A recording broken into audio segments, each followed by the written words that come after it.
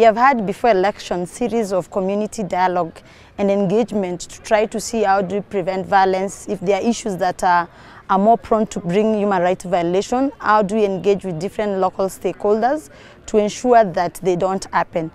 One of the things that the Commission has been very deliberate to do um, during this electioneering uh, monitoring cycle is um, very um, targeted and deliberate partnerships with key stakeholders that we deem are very critical in terms of accountability of human rights violations. So through these partnerships, both with state and non-state actors, we are able to quickly share information. We are able to refer the cases that come to our attention either through our monitors or through members of the public, and we are able to get, um, you know, redress and action from the various uh, uh, duty bearers. We've been trying to build more women leadership to get into policy making table to make a difference.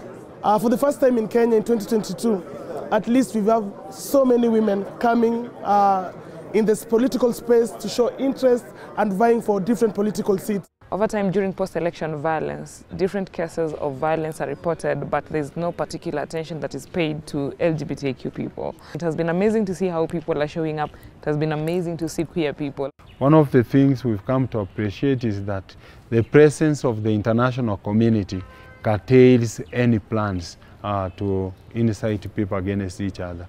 What we've seen is that the investments made in partnerships and in preventive engagement and in dialogue over the past years and, and, more intensively over the past months has really borne fruit. We've also been investing in establishing the linkages and the dialogue between different groups and I think it's been extremely important in particular for the justice and security sector actors to have a good dialogue with civil society and with grassroots movements to be able to build this trust and dialogue.